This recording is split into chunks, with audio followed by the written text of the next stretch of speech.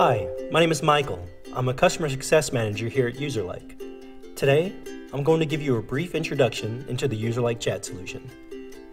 So let's get started. Let's log into the dashboard. Now that we're in the dashboard, you can see that this is your home screen, which gives you a summary of your chat activities. On the left menu, you can find all the different options available to you, such as the chat panel, widget and add-on configurations, messages, analytics, and more. The chat panel is the core of Userlike and your cockpit to deliver support. So we're going to move to this section first and show you how it works and how you can chat. Now that we're in the chat panel, if you're an agent, this is where you'll spend most of your time. It's the place where the chats will come in. But right now we're still on a way, so we can't get any chats. Let's change that. So here's our first chat. If a web visitor has a question, they'll reach out to you via the widget on your website or your messenger integration with Facebook Messenger or Telegram. The chat panel is your hub for all customer chats. It'll answer all questions from inside the chat panel. You can also switch between different chats, type or send macros,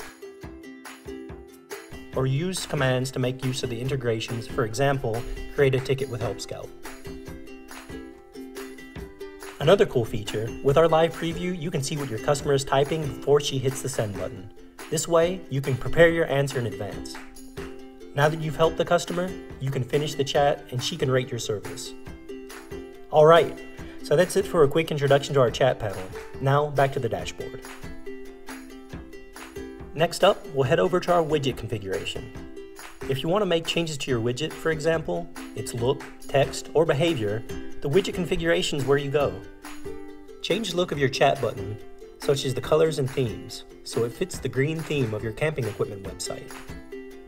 You can also change the position to the left or right side, or use our offset to put the chat button exactly where you want it on your website. Adjust the overall design of your chat button, such as icons or wording, Next up, we're going to head to Chat Behavior. This is where you can set your service times and also select different chat modes, such as our proactive mode.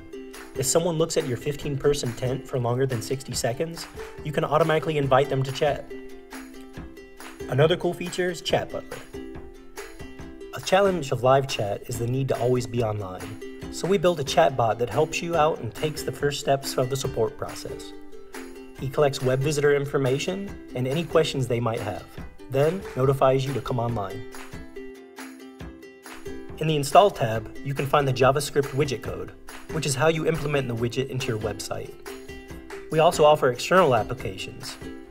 So if oberhausencamping.com happens to be on, say, Shopware, it's no problem. In the Messages tab, you can see all of your offline messages and chats that you've received. So, for example, we can see the chat we had earlier here.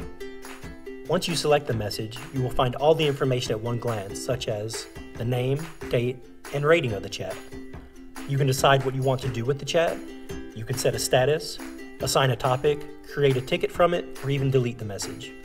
We offer different add-ons such as Pipedrive, Help Scout, or Salesforce.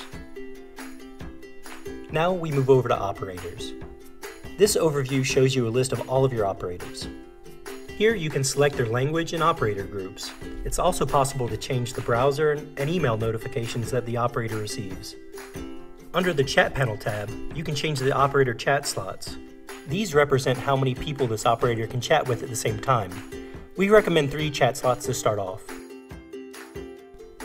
On to our last point. You want to track, compare, and improve your chat performance for one or all of your operators. You can do that in Analytics. One crucial measurement in customer service is the first response time. Your customers expect you to respond quickly to their questions. Otherwise, they might leave the website and not complete the plan purchased of the 15 person tent. You have different options to display this information. Select the date range and compare several operators to see where you have room for improvement.